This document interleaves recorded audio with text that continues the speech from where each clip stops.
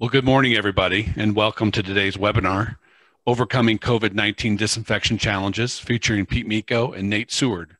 We're really appreciative that you're joining us here today, and we're ready to get started.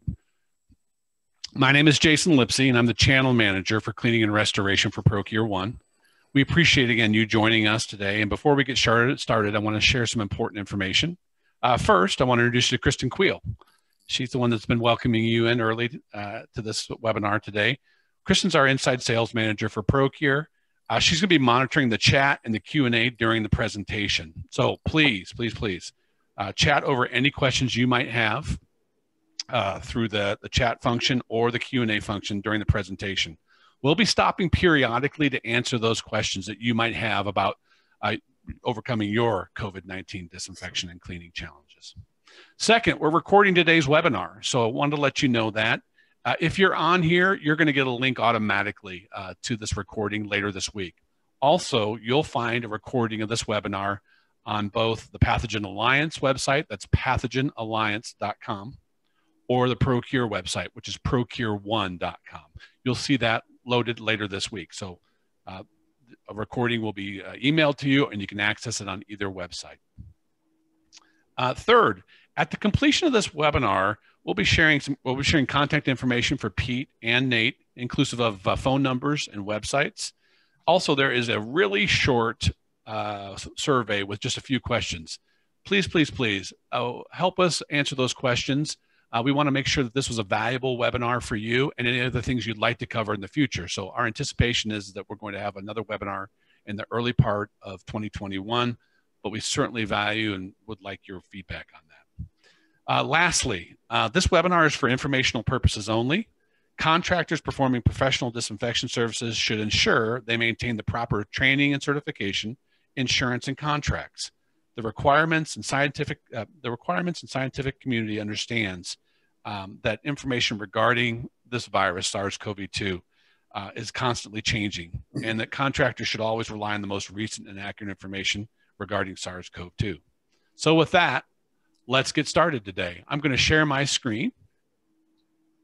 And uh, if you could just confirm you can see this okay, Kristen, I would greatly appreciate it. Looks good. Awesome.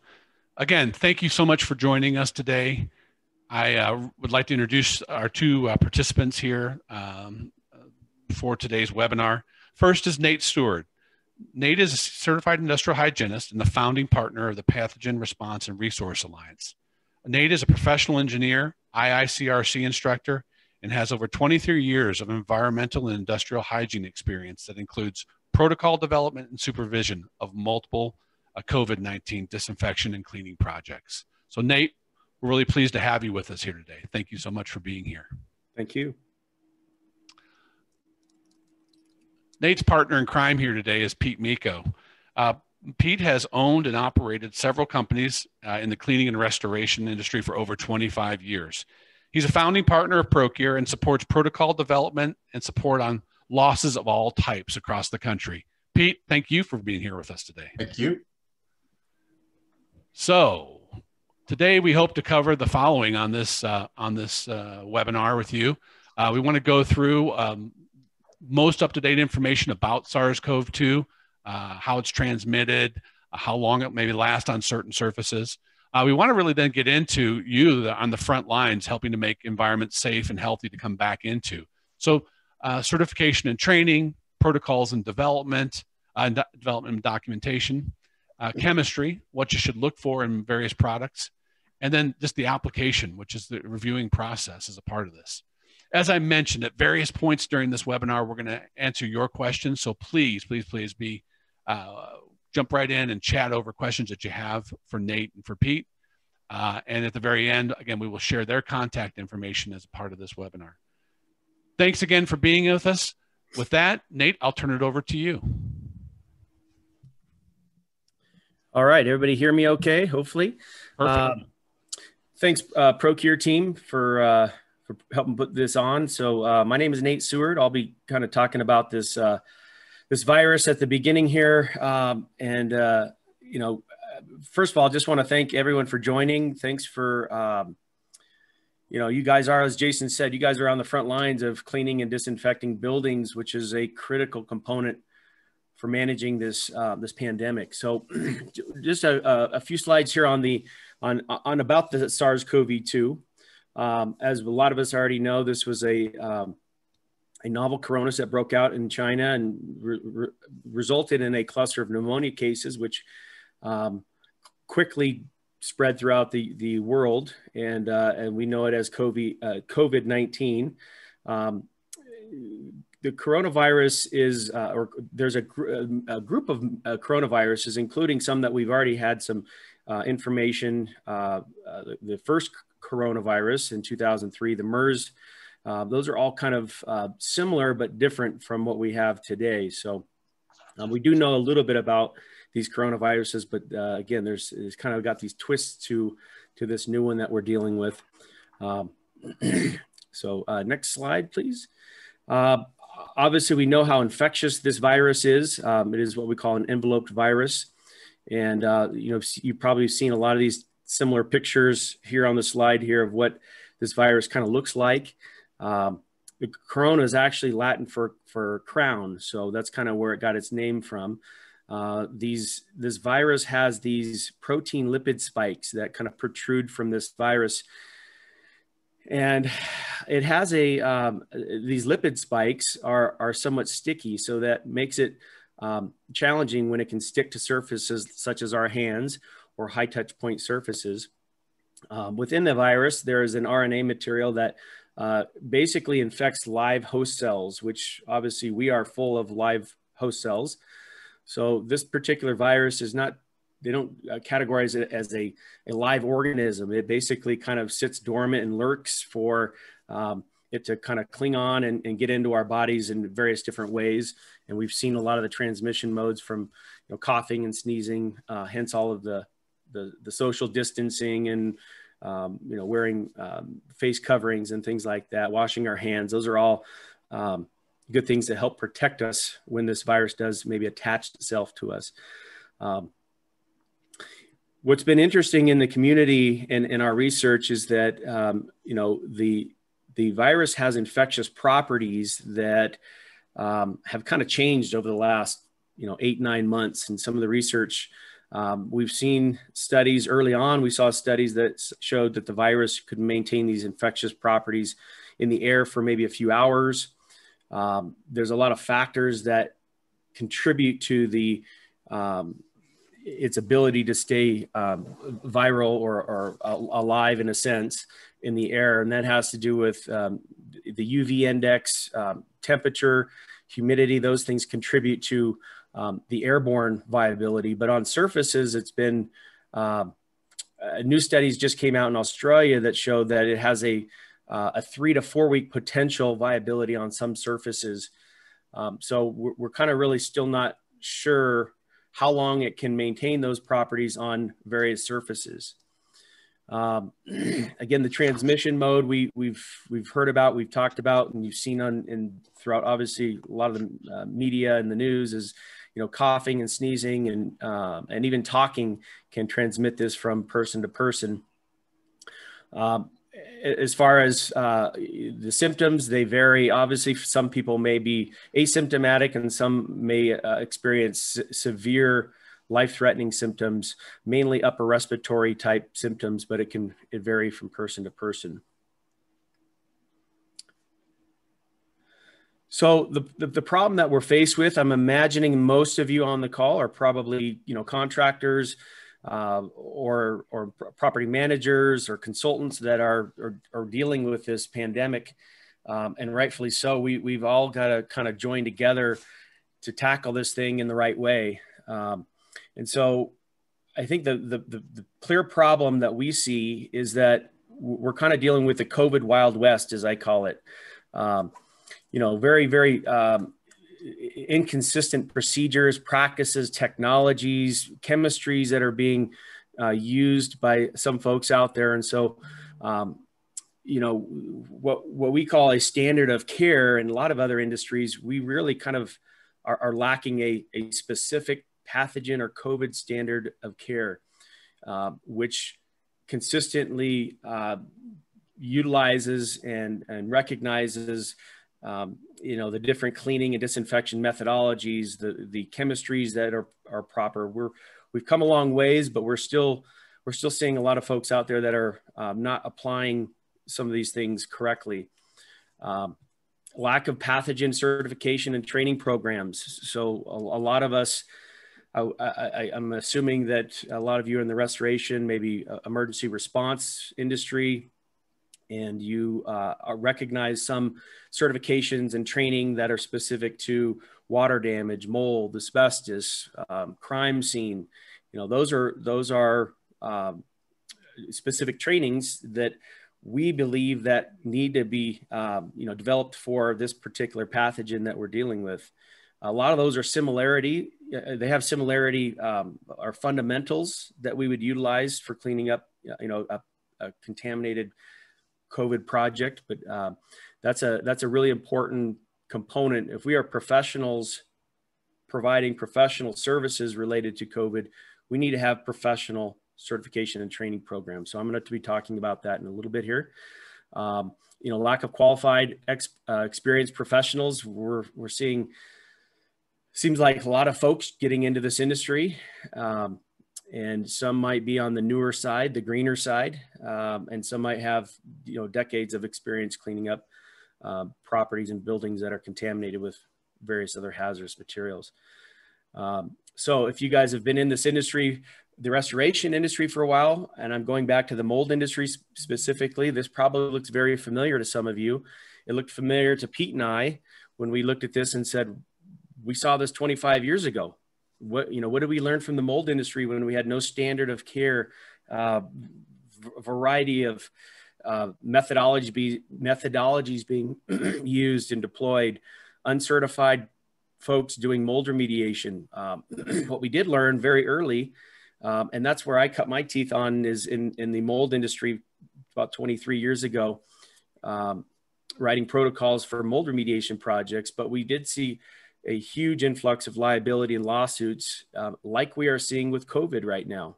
And so this is um, this is familiar to a lot of us. So we figured that there needs to be a clear standard of care that we've all recognized. Uh, professionals that have the training, have the proper insurance, following protocols. Otherwise, I think we're going to be taking step backwards in, in managing this virus and no one ever wants to uh, see each other in court. and so uh, we want to make sure that, you know, we're protecting ourselves as a company as best as we can in this industry. Um, next slide, please. So as far as certification or, or training and or training, uh, you know, we, we, OSHA, CDC, Department of uh, Human Health Services, they have guidance documents out there that we've seen a lot of it pertaining to employee protection um, for for folks that are doing COVID specific cleaning. Um, one interesting, uh, qu- not quote, but right out of the statute from federal OSHA says that all employers uh, and, and, and that's an important word right there. It's not just the folks that are going in cleaning uh, as professionals uh, buildings for COVID, it is all employers must train workers that have a reasonably anticipated occupational exposure to SARS-CoV-2. And this this could this could be from the cash register person to the truck driver. Uh, they have to have some level of training. Uh, and so we, I'll talk about the, that training course that we created for, for that level. And then there's obviously the professionals like you guys that are likely on the phone here that go in and, and do the deep disinfection and cleaning. My analogy I like to give is kind of like the dentist. When you go to the dentist, uh, you, you, get your teeth cleaned by a professional, certified, licensed professional. Well, in between dental visits, you need to make sure that you are maintaining, you know, your dental hygiene, flossing and brushing. And so we we believe that there's going to be in the world of new normals we believe there's going to be a new normal for building disinfection for professionals licensed qualified certified all of that good stuff. But in between a deep disinfection by professional it's likely that employees of that building are going to be asked to clean their workspace uh, to, to make sure that they can maintain the highest level of hygiene. Because obviously hiring a professional every week every month every you know every time there's an outbreak might get very expensive for for that. So we all need to kind of i think you know elevate the level of hygiene of our building including some of the employees that are working there maybe uh, asked to do some additional cleaning of their workspace. Um, so we've we've uh, seen some some violations uh, from Cal OSHA, from some of the other uh, state OSHAs, but this is becoming um, a, a, very serious situation for employers, uh, specifically in California, which uh, I was on a call just the other day with uh, one of the, the, I think it was the director of, of Cal OSHA, and they have um, their, their strike teams have issued violations for employers in the state of California that have violated some of these COVID mandates and some of the uh, aerosol transmittable disease standards.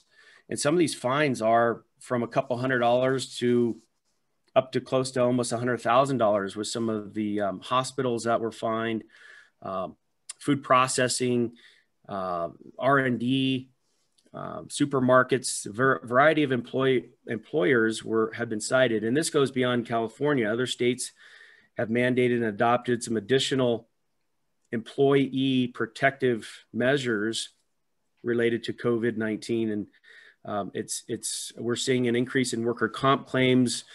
We're seeing an increase in, um, in lawsuits, including some class action lawsuits against uh, their employees against their employers. And a lot of it comes down to lack of documentation, lack of training. So um, we want to make sure that obviously that uh, you guys are all protected out there, your companies are protected, and and um, we're we're staying out of those courtrooms. Anything to add in there, Pete or Jason or? I think um, you know from the standpoint of the job, I think what uh, what you're you're talking about is giving us a good understanding of we don't have a lot of rules of engagement like we do in say asbestos um, or even mold now. And that because of that doesn't give us license to go willy-nilly that we are going to need to um, be trained protect our people protect our customers uh, document and so on and so forth. So you can kind of see through this presentation what we're doing is giving you an outline for what we see as best practices all the way through so that you can ensure that you limit your liability and exposure um, from your employees to your customer to your business. So, but I, so this is great, Nate. Thank you. Yeah. Thanks, Pete. Uh, so the way that, and, and, a lot of you may know this, but if you don't, OSHA looks at kind of, you know, how do we protect workers? They look at a hazard, a risk assessment is basically what it's called. And so you, you guys may be performing COVID cleaning and disinfection on projects that um, are low, what we would call low risk um, situation or facility, um, all the way up to a very high risk. Uh, an example might be a high risk, might be a, a hospital situation with confirmed COVID patients. That would be different than a you know construction site, which would be probably on the low the low side of of uh, employee hazard. So you know each project may have its own um, assessment for risk. And that and that will dictate which likely some levels of ppe your, your the chemistry you're using for cleaning and disinfection may trigger certain types of ppe but also the risk of the building may also add to that uh, that ppe personal protective equipment is is uh, the term ppe we use a lot of analogies as some of you've already probably caught on. Um, engineering controls. So in some situations, particularly when you get to probably a medium or high risk facility or situation, confirmed positive, it may be necessary to set up engineering controls, uh, which would be things like containment, negative pressure, filtration. Uh, those are those are things to minimize risk, uh, contain, you know, uh, areas that are uh, contaminated potentially. Um, and and similar to what we might you might see if um, you've been in the mold or sewage or um, asbestos or lead abatement industries, you, you are familiar with containment. Um, one thing that we have seen that's a little bit more aggressive is the air changes per hour So in, a, in an asbestos or a hazardous material situation, mold included, uh, four air changes is pretty much recognized as the, the standard for the amount of volume of air you've got to exchange. Well, in COVID projects, particularly when you get to hospitals, you likely might be required to increase the air changes uh, within that contained area to six to 12. So a little bit more aggressive approach. And that's really to just minimize the, the, um, the potential for cross contamination. Uh, next slide, Jace. So I, I, kind of mentioned a lot of this already. That again, PPE typically we're going to be using on COVID jobs. Again, it can, can can vary, but you might often see folks that are using the, the same kind of PPE as you've seen the picture here. Um, you know, protective clothing, gloves, uh, respiratory protection can vary. Obviously, with um, kind of the shortage with some of the the raw materials, N95 respirators are sometimes harder to find. You may be going with a a P100 half face or full face respirator. Uh, particularly if you're into a high risk building, you're going to want probably a little bit more additional type of uh, or level of PPE. Um, but it's in some situations it might it might be gloves and a and an N95 um, type respirator. Uh, it really kind of would depend on the type of facility. And definitely make sure, Nate, that you know the training that gets involved with this. If you're, um, some companies are saying, look, we're just going to go full face so we can protect the eyes and HEPA filtration um, you know, you want to make sure that you have your fit testing up to date and your annual fit test and your medical evaluation, that they're trained on taking the suits on and off because this is a virus. And like you said, it's a, it's a clingy one, you know, donning and doffing your, your Tyvek suits become uh, even more important. Uh, this one's a unique one because in the past, it always felt like PPE was to protect just your employee and now in this case, you're actually protecting your employee from recontaminating potentially the virus they may or may not have um, into the space. Um, so the PPE becomes really important, but it's a double-edged sword. It's kind of unique. I'm trying to think of other scenarios, maybe asbestos where you could take it into another room and so on and so forth. But this one's really unique because it, it uh, requires us to make sure we're not, we're protecting both the, the receiver of the, pro, the, the uh, treatment and the person itself. So that training and understanding, you know, do you have the right, um, do you have the right equipment and are your people trained for it? Um, we're seeing lots of stuff on social media where you're seeing all levels of service done with minimal PPE and casual attire, um, all sorts of stuff where you're just, um, you know, you're putting your employees at risk and you're at risk of doing a poor job as well. Yeah, I, I did uh, uh, several months ago. I did kind of a funny skit, uh, uh, uh and I covered myself in uh, shaving cream. I had this kind of level of PPE was wearing, and and basically kind of showed how some might just doff, or another term is to get out of your PPE. Those are kind of our fancy terms, donning and doffing. But you know, I, I kind of showed how easy it is to cross contaminate you know, if you don't take off or doff your PPE properly, you could have, you know, in this case, it was shaving cream, but I, I was, it was more of a comical skit, but it was a reality that some folks that don't understand how to properly doff the PPE could recontaminate their, their hands and not, and not know it. And, and then go where they're going to go, grow, grab their cell phone, make a call, itch their eyes. Um, and, and so it's, it's it kind of understanding that level of it, we're dealing with an invisible virus, obviously. Um, so, uh, you know, who's out there cleaning these buildings? We've got a lot of, we need a lot of folks uh, to be at the front lines to clean and disinfect buildings. Um, so we see a lot of the restoration folks, which I, I think are probably the most equipped and, and probably qualified to handle asbestos abatement, hazardous material abatement, those types of folks that kind of do this day in and day out on buildings, um, whether it's crime scene or, or hazardous, has whopper, hazardous materials, um, even it, janitorial custodial folks that understand, you know, some levels of cleaning. Um, we are seeing a lot of influx of other industries getting into COVID cleaning. And so we want to make sure that um, again, kind of going back to the mold industry, we saw this as well, and and everyone was jumping in, seeing a new opportunity, uh, but we we got to be careful that we don't run in too quick and not have the the proper uh, you know training and qualifications and and even insurance, which we we may talk about in different uh, webinars. So. Um, well, I think to that point, uh, Nate, real quick on the on that piece, you know, as you're looking at this, you know, you do want to make sure your contracts are up to date. Um, your contracts previous, if you're a restoration contractor, might include language like pre, um, previous uh, pre-loss condition, um, those kind of terminologies that there's no way you can guarantee that you can do this in this environment, especially with no clearance testing and so on and so forth. So make sure you review the your contracts, review your insurance policies with your agent. Um, everything I've read and, and discussed with agents, general liability would not cover any kind of um, issue that you might generate on, you know, and be involved in. Uh, pollution liability is is touchy as well. They they were meant for bacteria and um, mold release and, and, asbestos and lead release. It wasn't intended for a pandemic virus. Uh, doesn't mean it might not be covered, but you might you want to go through this with your insurance agent, let them know you're doing this type of work, and make sure you guys are on the same page so you have you understand your defensible position.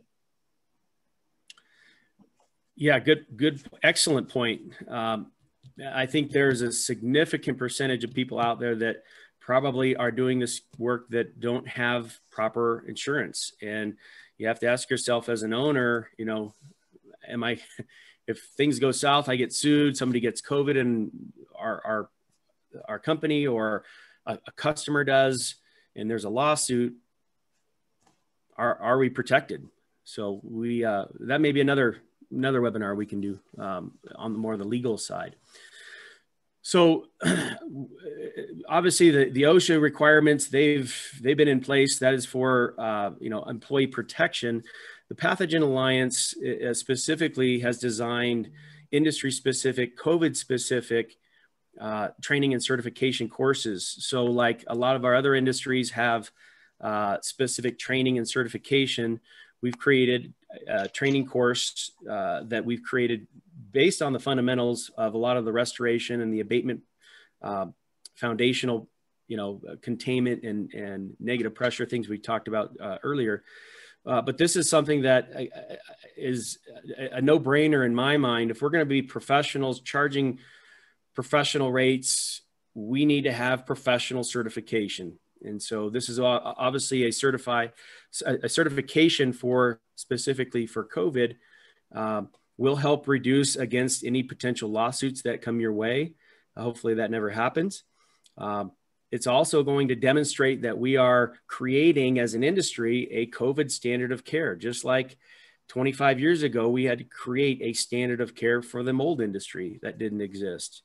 Uh, this is a massive opportunity for all of you on the on the call, and but the, but we have we we've got to do this right, and we've got to we got to make sure we're consistent with, uh, again, training, the application of chemistry. Uh, if, if, if we don't, then it's going to continue to be the Wild West, and, and some people are going to get pulled into lawsuits and probably may not survive. And this is a, this is different than mold in the, in the fact that obviously it can result in in death for some folks that may have pre-existing conditions or immune compromised systems.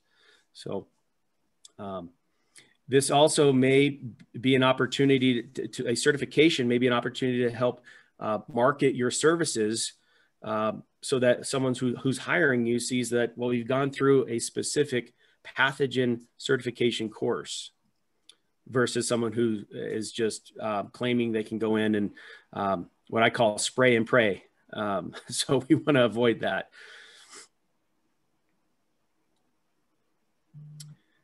Um, so our, our group, uh, again, as I mentioned, we put together a, a pathogen specific uh, training course. We have a professional level, which is really about an hour and a half course. It's designed for professionals that have already kind of been in this industry, like the restoration, the abatement, the emergency responders. Uh, it, it's you guys already have a general understanding of cleaning and disinfection and some of the things. So it's um, it's designed, you know, for, for that uh, type of audience. Um, we are a third party uh, credentialing training provider. We um, we have a specific insurance policy that allows us to provide this particular pathogen um, training, which makes us uh, quite unique. Uh, what, for us to qualify for that, by the way, was very difficult um, and was, uh, you know, as you can imagine, some of the insurance folks are a little uneasy about insuring certain people that may not have experience or credentials or any of that. So we have uh, an advisory board that's uh, pretty impressive with their own uh, credentials in various industries. So, um, you know, credibility of your training program is is huge when it comes to defending yourself. Uh, that you know you've gone through a credible training program. Um, obviously, our you know when you guys are going and doing cleaning and disinfecting and, and disinfecting of buildings, we're never going to be saying things like it's COVID free or it's it's it's we've disinfected your building. We want to use clever words that give us some some some squishiness, as I call it. But you know, we are applying disinfectants. Um, is a little bit uh, of a safer kind of a uh, less um, insinuating that we've disinfected your building and it's COVID free. We know that's never going to be going to be the, the case. Just like when you if you've been on a mold project, we don't say it's mold free because we know that mold is everywhere. And in the minute the water loss comes back, potential for mold to grow again. So uh, we can only do the best we can with the knowledge we have and the, the tools and the equipment and the chemistry that we um, are that's available to us. Okay, um, next slide. There's uh, just a list of some of our advisors on our advisory board that helped us prepare. Um, as I mentioned, the, the course is a little under two hours. Um, we also have a, a training course. I think it's the next slide, Jay, if you can go to that one. Uh, um, that's uh, an office worker. So you guys um, who are cleaning buildings, the building occupants, employees per OSHA have to have some level of training. So we have about a it's about a 40 minute training course that is for the office worker who has common high touch point surfaces, mouse pads, uh, keyboards, cubicles. Um, those are going to have similar you know office high touch point surfaces regardless of the industry so that's an opportunity for you guys to make sure that your customers are in compliance with OSHA. And then there's obviously people that don't work in an office setting. So we created a non-office worker. So someone in the warehouse, someone that's, uh, you know, a bartender, uh, driving a truck, they're going to have a variety of different high touch point surfaces and, and things that they may uh, need to routinely clean or be asked by their employer to clean but you can't just hand a chemical to an employee and say here go clean this and and without any kind of level of training. That's where the liability is going to to come in for uh, some of your customers. And our classes are in english and spanish. Okay?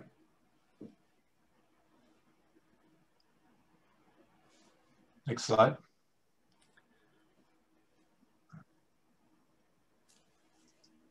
Did we freeze?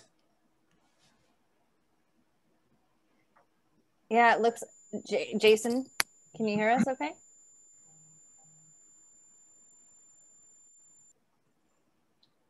Jason's on mute. There, there we go. Oh. Jason, I don't know if your uh, mic's working because we cannot hear you.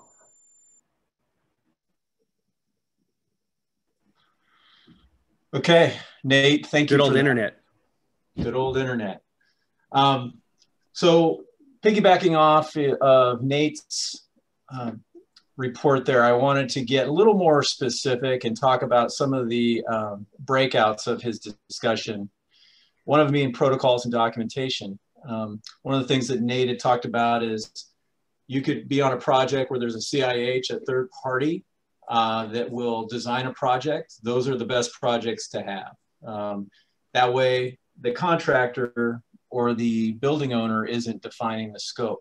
So they can take as much into uh, account about the building, about the scenario, about the um, cause of the loss or removal of the, the virus as possible. And in fact, Nate's been on a few uh, as a third party as well, especially in the early days of COVID. But most of us are not running into um, projects with this. Uh, I would call it a luxury. It's ideal. And mold, it's you you know most people aren't doing a mold job unless there's a third party in the beginning or a third party at least in the end to to clear the job. So in most cases, you're defining your own scope. You're taking your own risk assessment. You're looking at the objectives and the client's expectations. And what we're seeing in this more than anything else, I've seen some large big box jobs where in May, they would have probably had you uh, clean and disinfect the entire facility, you know, from a Walmart to a Target. Now, due to cost, they're limiting contractors' uh, scope. They're saying, okay, just hit the uh, cashier's area and the bathrooms and the break room. So high touch points. So we're seeing a lot of that change. We're probably all part of that. Um, frankly, I've seen it where there's people still in the store and there's staff is completely suited up and doing this cleaning. So it's gotten really interesting, and I'm sure the stories would go farther and farther. Um, you know, because of this protocol and documentation component, you want to make sure you know you've got your safety. So you want to be um, from staff to materials to the building and account. Sometimes I know guys will put together a package on a big project. They'll have the diagram of the store or the facility. Um, so to show that they as much as they can prove, hey, we went and we did all these areas and we highlighted these high touch points. Products. Uh, products is something, uh, especially on social media, I brought that up earlier. You're seeing so many things. You're seeing products make tons of promises. Uh, you're seeing uh, products being used improperly just by, by what you see on social media and, and pictures. So you just want to be completely mindful and document the products you use and make sure they're safe, they're EPA registered, and people are trained to use it.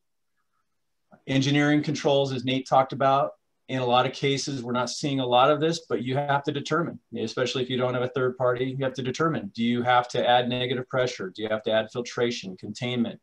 What do you have to do to get this project set up correctly uh, and safely? Next slide. Documentation. So as we get into this, a lot of this is, you know, just literally building the case that you did this work um, and that you did it correctly at that time.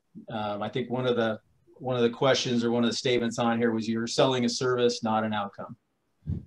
Um, so you want to build your case. You want to limit your liability, and to and to um, Nate's uh, previous statements just because there's no standard, there is, as a professional, we do have standards we have to abide by. You want to deploy the proper cleaning and disinfection procedures. Uh, you want to properly apply the chemistry you're using. You want to take photos. And in some cases, people are ATP sampling for cleanliness. That's not telling you if there's COVID or not, but that's telling you if the surface is relatively clean pre, before and after as a way to kind of test the cleaning. So all these things you want to take into consideration as you build your case uh, off your protocol or the um, third-party protocol. The other thing I'll note is um, if you want ProKure on their website has a CIH um, protocol from AG Wasserman that's a fillable PDF.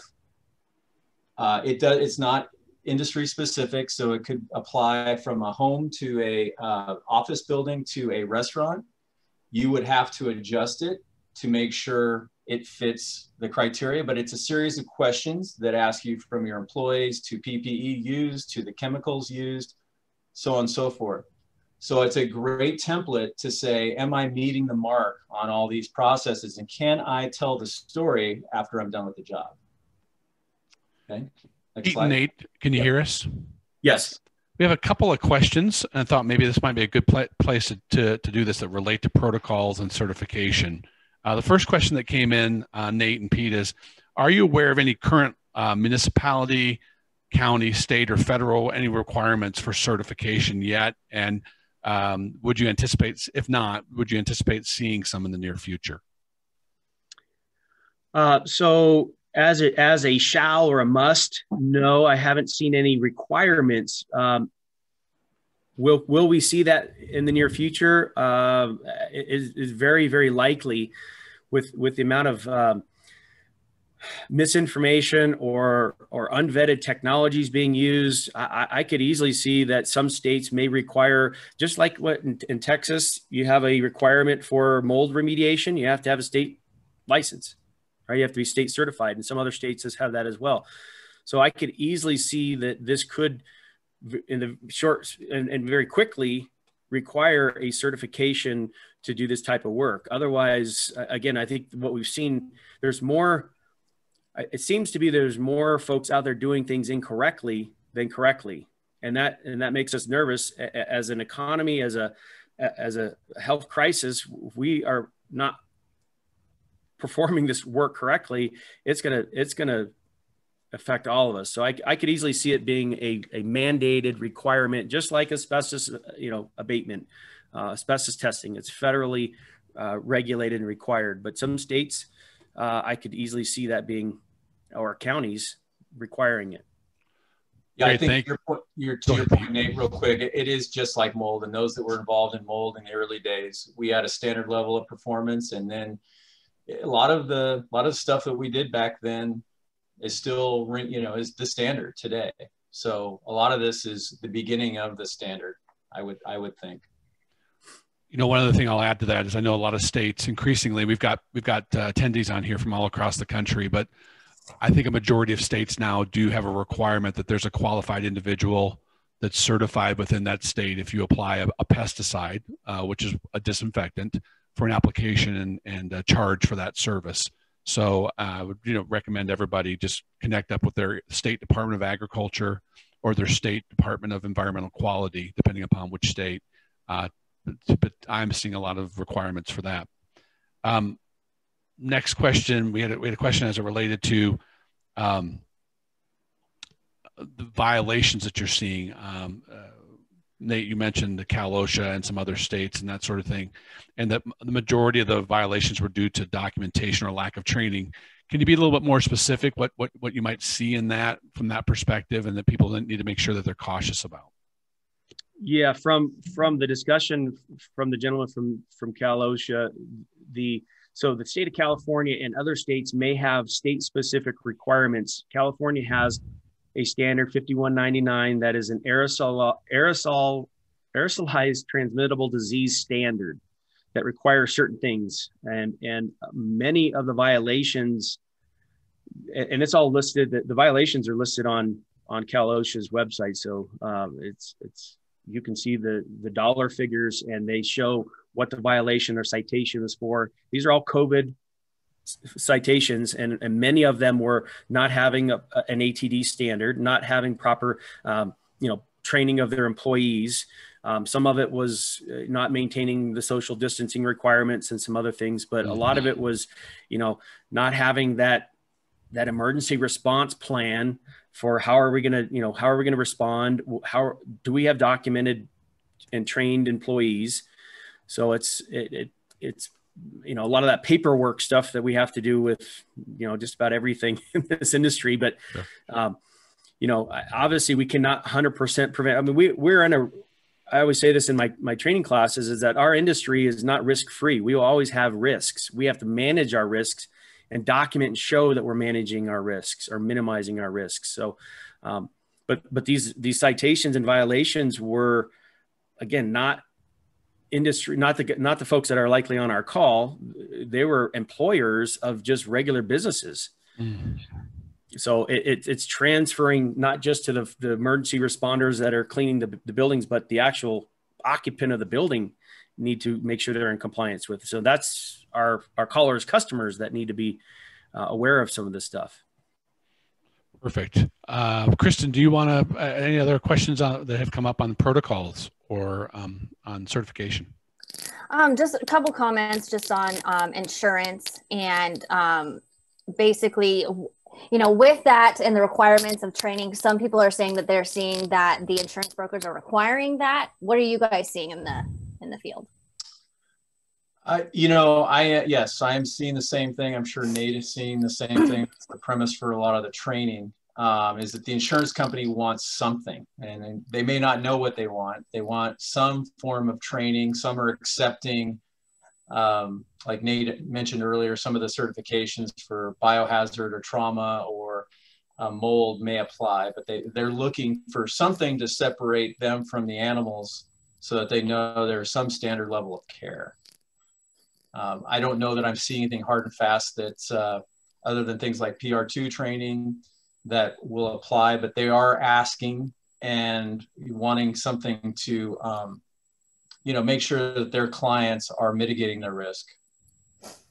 Yeah, we, we've had several discussions with various insurance um, folks trying to just see where where their heads are, and obviously they're in the game of minimizing risk, as Pete mentioned. So uh, it would make perfect sense for them to require if you're going to be doing this particular type of work, you're going to need an, a, a policy that has a communicable disease endorsement. Most most people have an exclusion for viruses, as Pete mentioned.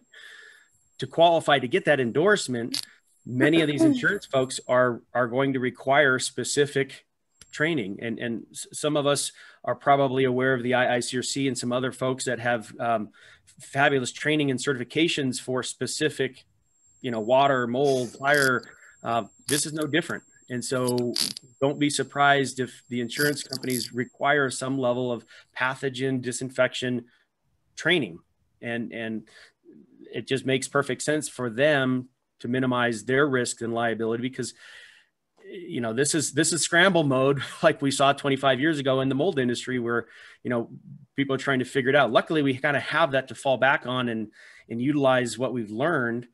Uh, but yes I, I i absolutely think that specific pathogen disinfection certification will be required to even qualify to get the proper insurance great thank you guys for that so back to our webinar yeah our next topic is chemistry. Um, one of the, this is what, you know, ProKure does, but we also see it as an area where it gets minimized. People pick a product um, for various reasons, from cost to uh, familiarity, etc. But we want to make sure that all your employees and customers understand the technology that you choose and that you understand it as it relates to the building materials, etc. You want to make sure that the label that you read and understand, for example, do you have to rinse? On the deodorizing side, we've run into a couple scenarios where a company has said, hey, your product has created a tacky surface. And as we did research, they used a product as a degreaser that required rinsing and they didn't rinse. Uh, so it was that product. So I can't under can't overstate how important it is to read the label and understand the product. Uh, have the SDS available. Verify that it's on the list N for the EPA. Um, make sure you have PPE that's adequate for the chemistry selected. We've talked, um, you know, in the case of ProKure, at the disinfection strength, no PPE is required, but clearly if you're going into a COVID positive, you want to be fully PPE. But if you're using another product, it may require you to wear special gloves. It may require you to wear uh, a gas cartridge as a filter instead of just the HEPA. So you want to be mindful. It's not just PPE is not just a standard thing. You also got to make sure it matches the technology you're going to use. The you want to verify dwell times. This is probably one of the most important parts beyond being on the list N as it relates to COVID. What's the dwell time? Uh, we've all seen those pictures and videos, and we see it every day in restaurants, especially if we've gone out since the pandemic. Somebody sprays some product, an unmarked bottle, on a, on a table and then wipes. And you're saying, well, that's got to be a one second dwell time. So know your dwell times. With ProKure, we always recommend that as you know the guys go through and they do the application of the product, they make sure that after uh, they make their turn or finish the zone. They know it's at least 10 minutes and then go do any wiping if necessary. In case of ProKure, it's no rinse, so there may be none. Um, and does the, the chemistry select that you select match the sprayer? We're seeing, we're seeing and hearing a lot about fogging. Does the product that you pick, uh, does it work in a fogger? And are you going to get called on that as part of your documentation? So make sure all those things work together. Thank you. In the case of ProKure, uh, ProKure V specifically, we are a no rinse product that if you read the label and went through it, you know we're safe in, in public facilities, restaurants, we're food safe, OMRI, organic for those in California, just kidding, uh, hospitals, etc. So it's for use in all those areas. And it's no rinse, breaks down to water and salt vapor, so no harmful chemical footprint, and needs to go through a sprayer that allows you to have a dwell time and contact surface time that hits the surface, stays in a wet state for up to 10 minutes. And again, those kind of things would need to be included in your documentation. And that would be in your training with your staff to understand if your staff's using multiple different products, you would meet with the team before, hey, we're doing a restaurant, we're gonna use this product, we're gonna use ProKure. Understand that dwell time is 10 minutes, another product may be 12. And so you just wanna make sure you all are communicating that. No one's sitting there with a timer but you want to let the product work. And that is part of building your training and documentation and so forth. Okay. Um, real quick, Pete, on that, um, I, will share a quick story on a project we were on, a high, high risk facility, confirmed positive. We had to kind of oversee the contractor that was following our scope that we had to document that the dwell time remained. So we basically did start the clock. We we oh, wow. verified when it was applied, and then we confirmed it was wet after the the prescribed contact time. So insert again from that documentation.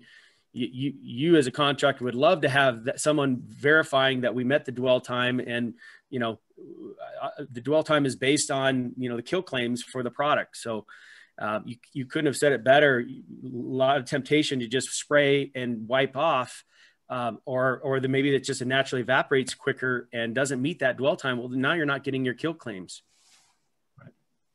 And this is all just information that as you go through it, if you understand this and are able to articulate this and document that, the ability to poke holes in your processes and your procedures are going to be limited. You already now are on this and they have hired a professional. So as it relates to applications, so we've kind of gone through the gamut of, you know, the why and the, and the, you know, what, what do we do, uh, pr protocols, how do we select the chemistry? And now we're looking at applications. And again, these are brief overviews. There are training, you know, there are specific trainings for this, but we figured we need to walk through the process to kind of see, to kind of check your game or determine if you want to get into this. Um, it is critical to, understand, to determine if you're needing to clean the surface prior to applying disinfectant products. I know in the, um, a lot of cases, you're coming in clearly just to disinfect. There is a janitorial service uh, that already does cleaning potentially, especially if it's just preventative. And so that falls in the next one where you want to determine, is it positive or preventative? We're seeing a lot of janitorial teams coming in and doing a lot of preventative. Um, and they're doing it well. They're really good at cleaning and they're um, applying the product to the specifications and they're wearing the appropriate PPE. That's great. COVID positive would come into a play where you actually have an active, so PPE might be stepped up. We see a lot of um, we see a lot of janitorial companies that are going in with limited PPE and N95, maybe some gloves and no Tyvek suit. But if you got a COVID positive, you want to be fully fully prepped for that. So that's important to know. Um, do you, and you want to focus on high touch surfaces. So as opposed to mold and some other um, cleaning and other things we do, this one's very interesting. So if you do a grocery store, for example, you know, you are cleaning all the high touch areas and disinfecting, but you're probably not going to disinfect the top of the freezer, areas that people aren't going to come in contact with.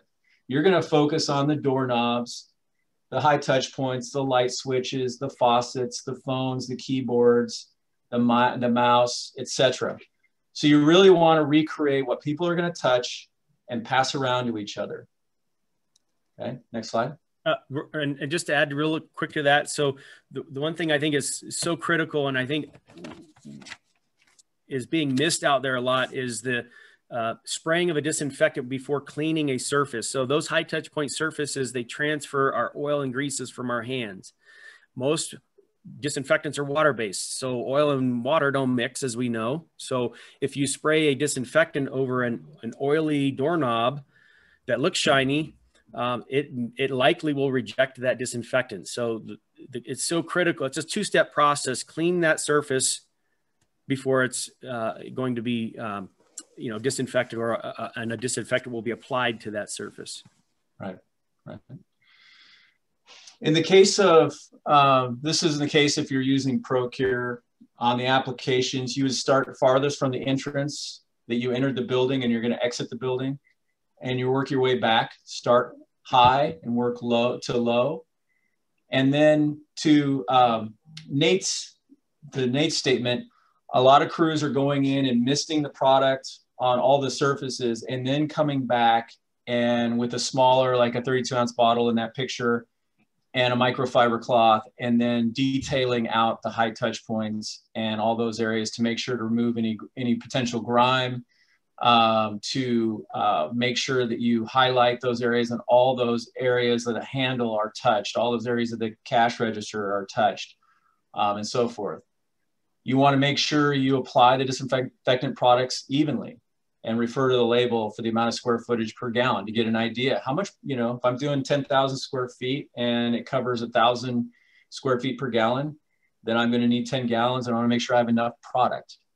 Um, and that you're you know you've used it all at the end. Uh, one of the things that i do say that's bad about restoration especially is disinfectants i think are completely misused on water damages and sewage damages but if you just look at everybody's sprayers, it would tell you that everybody, when we first started doing this, we would go and find a sprayer at the shop of the businesses. Oh yeah, we've, you know, we use X to as a disinfectant on antimicrobial, and we use this on biohazard.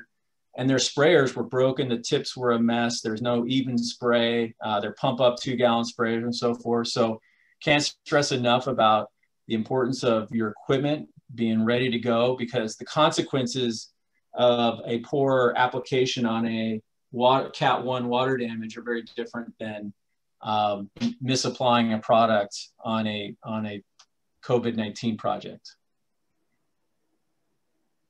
Great. Well, we appreciate it, Nate and Pete, for for walking us through those really important agenda items, especially today as we're always trying to instill confidence um, in environments, uh, whether it's for staff or for customers um, uh, who are accessing those environments. So we really appreciate that. Kristen, I know we've got questions, so why don't we jump into some of the questions that the, the team has, and then we're going to wrap up in the next uh, five or 10 minutes. So please go ahead, Kristen. Perfect, perfect. I've got three. Um, couple questions. Oh, how do you guys feel about fogging and electrostatic sprayers?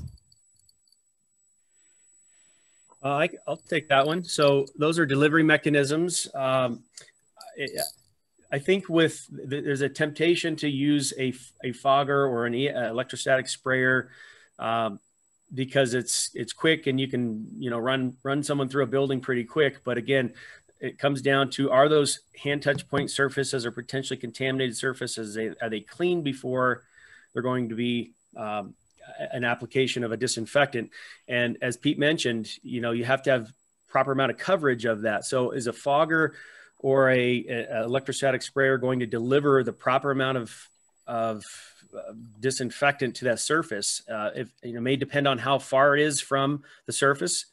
So I, I don't think, I, I think you can use some of these applications if the product obviously is, is, you know allows that delivery mechanism but the temptation of going in and fogging the air is something that we we shouldn't be doing as a sole disinfection procedure. We've got to we can use different you know uh, fogging or electrostatic spraying methods, but make sure we're wetting that surface properly. It's designed for that that device.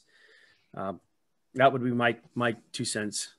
Yeah, we've definitely seen that fogging um, certainly. Uh, excites the mind of a restoration contractor for for the reason I think it it's the fear of getting things wet, the fear um, of getting you know too there's too much too much detail on a large project, we've seen this with uh, on ProKure on deodorizing projects, the the fear of getting um, you know soft goods wet, and it's safe on soft goods. But it but it's it, it's it's contrary to our nature as the way we were raised to keep things dry and not to to, to saturate things. So.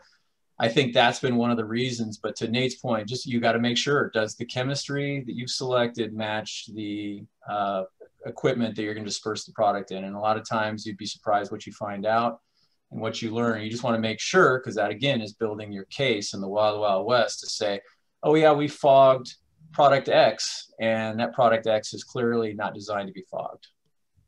And, and the other thing to I'll add to that is that you, we're aerosolizing, you know, micron droplet sizes, so that that could be a potential risk for the occupants.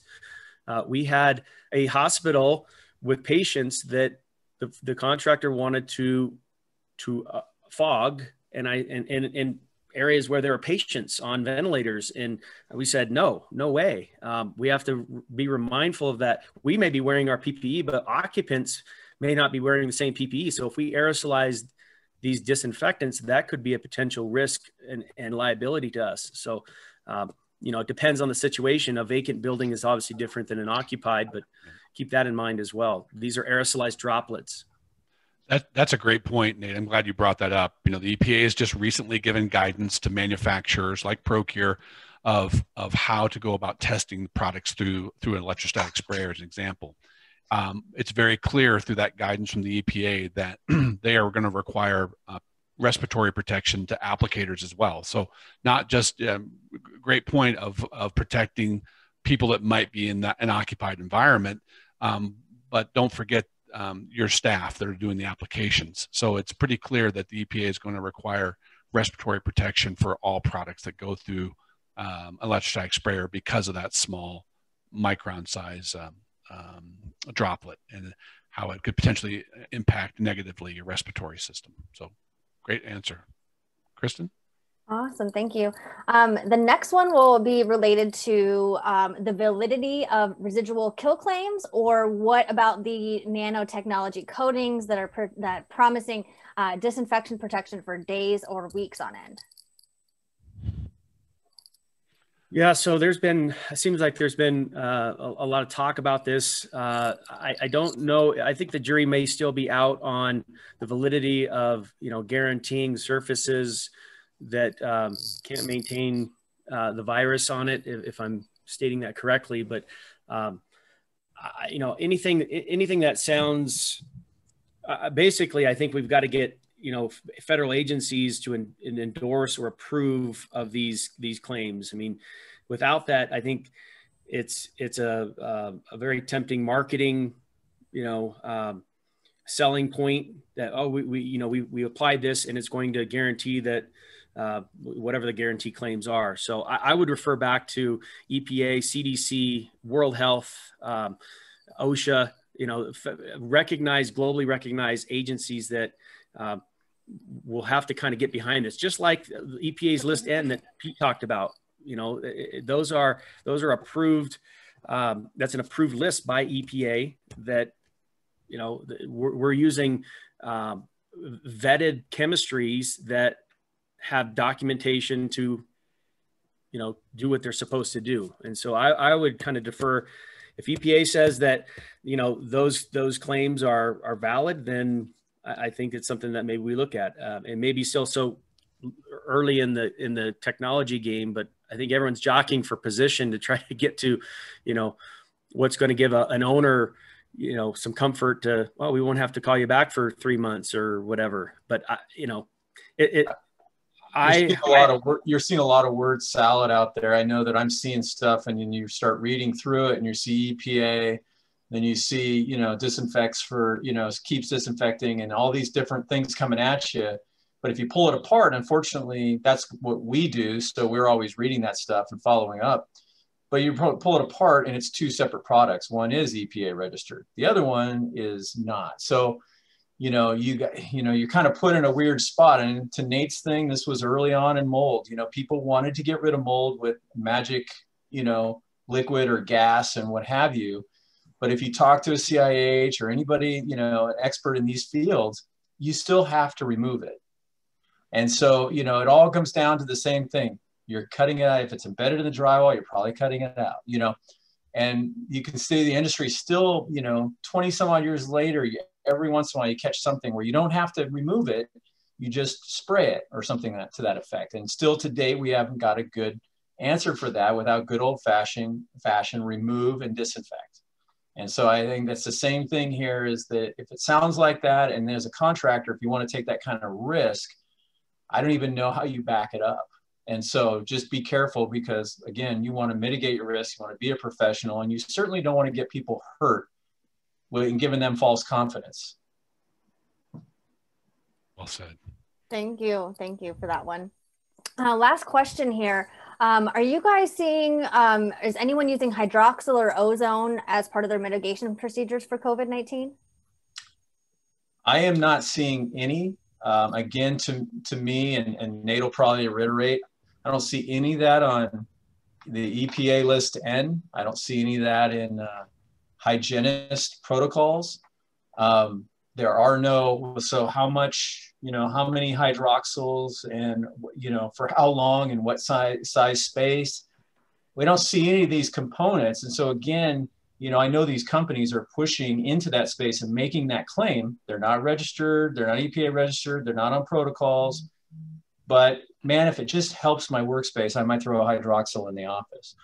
That's very different than a professional coming in and putting it in and making a statement. And so to me, that kind of falls in that same vein of, you know, as a contractor, professional contractor professional liability insurance, is that something you want to attach yourself to without without the documentation and the, and the certification, et cetera? Yeah, I'll add to that. There, there's there's a lot of uh, magic bullets that are kind of being you know tossed around. It's you know again, uh, ozone, UV, uh, hydroxyls, uh, filtration. You you won't see those on EPA's list N because because those are pesticidal devices. Uh, EPA does not does not review the efficacy of pesticidal devices for killing bacteria and viruses. Now, some of them uh, might have some benefit. We probably use some of you may have used hydroxyls and ozone for odor control, and and, and so there's some there are probably some benefits for certain bacterias and certain mold uh, mold and maybe viruses, but specifically for SARS-CoV-2, EPA does not won't endorse pesticidal devices. They they're in the business of, of reviewing and approving chemicals that are that are specifically designed for uh, this particular virus. So I would, like Pete said, I would be very cautious to, you know, maybe it's supplementary, maybe it's for odor control, but it is not the primary, you know, disinfection technology that should be used. And, and also, by the way, ozone, you, you have to realize that ozone has a permissible exposure limit. There's safety concerns, there's degradation of building materials that could occur.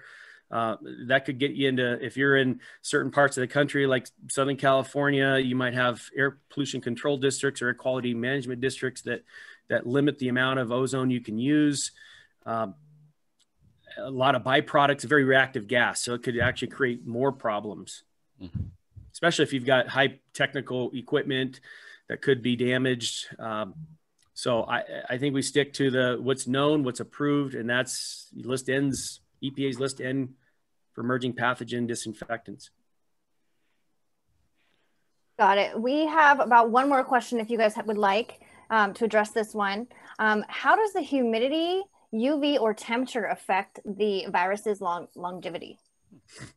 That's a great question. Uh, I think it's Homeland Security on their website has a um, I don't know what you call it a scale or something that you can actually so the, the virus prefers doesn't doesn't like high temperature air temperature um, compared to high so so 95 degree versus 75 degrees it's going to prefer it's going to it's going to maintain infectious properties uh, lower temperatures um, it also enjoys or prefers a lower um, uh, relative humidity so in humid environments the the half-life or the, um, the, the, the, degradation of the, the virus, um, it, it, in humid environments doesn't prefer that. So if you've got a dry, cool climate uh, with a low UV index, it, it's going to have a longer half life than it would if it were in a, a hotter temperature uh, or more of a humid temperature.